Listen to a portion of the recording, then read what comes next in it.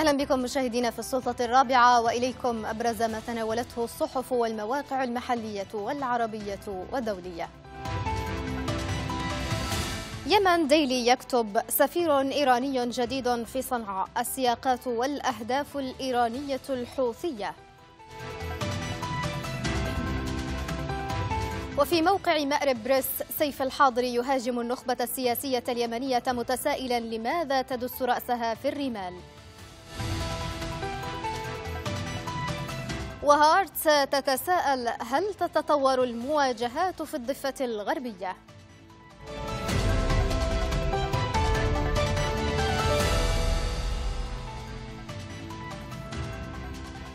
أهلا من جديد سلط موقع يمن ديلي الضوء على إعلان ميليشيا الحوثي المصنفة إرهابيا فجأة عن استقبال سفير الإيراني الجديد لديها علي رمضاني لأول مرة منذ إعلان إيران عن وفاة السفير السابق حسن إيرلو بشكل غامض نهاية العام 2021 ونقل الموقع عن أمل عالم الباحثة اليمنية المتخصصة في الشأن الإيراني قولها إن الإعلام الإيراني لم يتحدث مطلقا عن السفير الجديد وخلفيته واكتفى بنقل الخبر من وكالة سبأ الحوثية.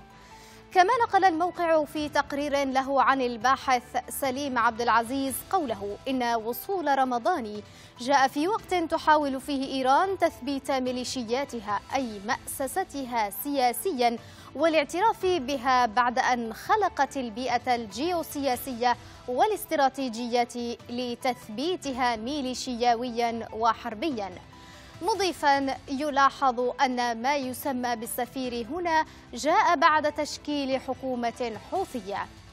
بدوره يقول المحلل السياسي عبد الهادي العزازي إن السفير أتى باعتباره المراقب العام أو ما يمكن تسميته بالمندوب السامي لقم للحرس الثوري الإيراني مهمته الأساسية الضغط باتجاه انفراجة في الملف النووي وعلاقة إيران بالغرب عبر استغلال جماعة الحوثي وتحويلها إلى مخلب يهدد ظاهريا المصالح الغربية في البحر الأحمر وخط التجارة الدولية.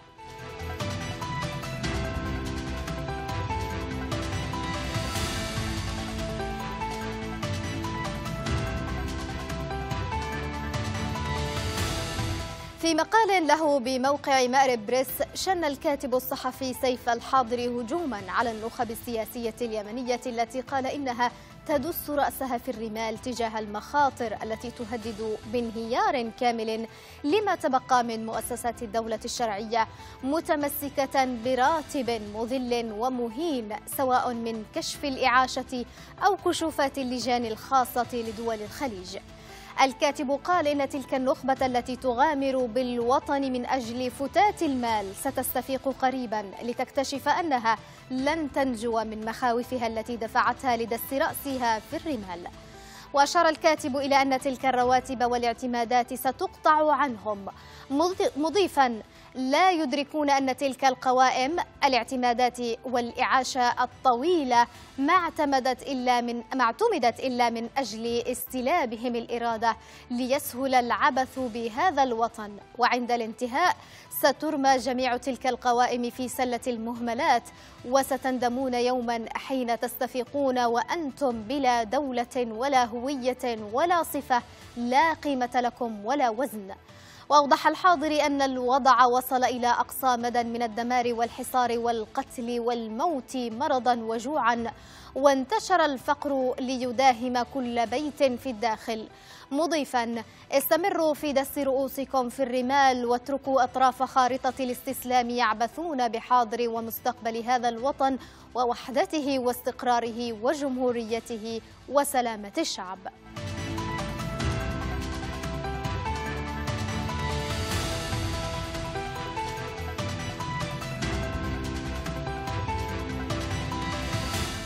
حادثة هي الأولى منذ بدء هجمات الحوثية على السفن في نوفمبر من العام الماضي. ذكر موقع ميدل إيست أونلاين أن ناقلة نفط سعودية تعرضت لهجوم أمس الاثنين في البحر الأحمر قبالة اليمن. يقول الموقع إن استهداف الناقلة أمجاد التي ترفع علم السعودية يلقي بتداعيات سلبية على الجهود التي تبذلها الرياض من أجل الوصول إلى إرساء هدنة شاملة في اليمن. نقل الموقع أن الناقلتين أمجاد التي ترفع علم السعودية وبلو لاجون 1 التي ترفع علم بنما كانت كانتا تبحران على مقربة من بعضهما البعض عندما أصيبتا. لكنهما تمكنتا من مواصلة رحلتيهما دون أضرار كبيرة أو إصابات أفراد على متنهما. ويشير الموقع إلى أن عبد الملك الحوثي زعيم الميليشيا المدعومة من إيران قد تهجم على المملكة خلال الآونة الأخيرة ملوحا باستهداف مطارات وبنوك أو مطارات, مطارات وبنوك في السعودية برغم الدور الذي تلعبه الرياض لإحلال السلام في اليمن الذي دمرته الحرب ودعمها المالي للتخفيف من عدة من حدة الأزمة الاقتصادية.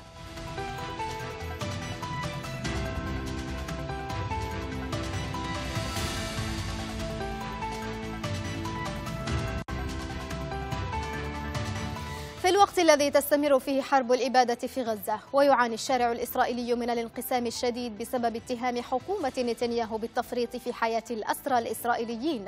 أصبحت الضفة الغربية مركزا لصراع دام يمكن أن يتطور إلى معركة أوسع نطاقا وفق صحيفة هارتس. ويرى الكاتب في الصحيفة تسفي بريل أن العمليات الأخيرة في الضفة أدت إلى تقييم إسرائيلي مفاده أن هناك تصعيدا استثنائيا وخطيرا من المقاومة. ويردف الكاتب لكن بعيدا عن الجوانب التكتيكية لهذا الأسلوب من العمل والتي تذكرنا بأيام الانتفاضة الثانية القاتلة فإنه من المبكر للغاية أن نحدد ما إذا كانت هذه العمليات تشكل استراتيجية فلسطينية جديدة مصممة لتوليد انتفاضة مماثلة للانتفاضة التي اندلعت في السنوات الأولى من الألفية. ويقول الكاتب إن العصابات الإرهابية اليهودية التي تهاجم المدن والقرى الفلسطينية سوف تؤدي إلى نضوج الظروف اللازمة لانتفاضة مدنية فلسطينية عنيفة جديدة. مضيفا وإذا كان الأمر كذلك فإن السيطرة على محور فيلادلفيا ومعبر رفح الحدودي لن تفيد إسرائيل سواء على الصعيد الأمني أو الدبلوماسي.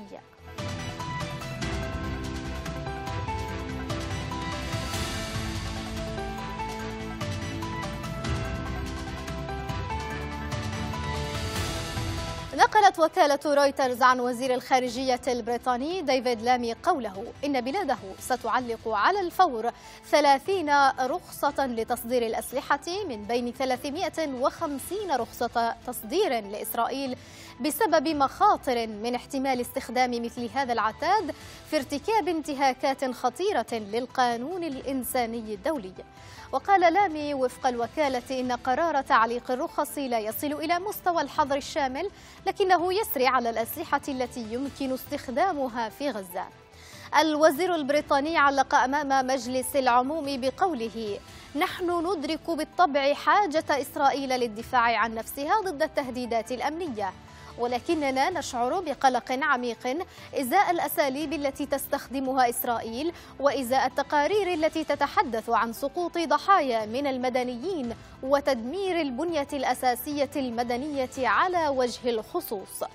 وتمثل الصادرات البريطانية أقل من واحدة في المئة من إجمالي الأسلحة التي تتلقاها إسرائيل. وقال لامي وفق الوكالة أمام مجلس العموم إن تعليق رخص التصدير لن يكون له تأثير ملموس على أمن إسرائيل.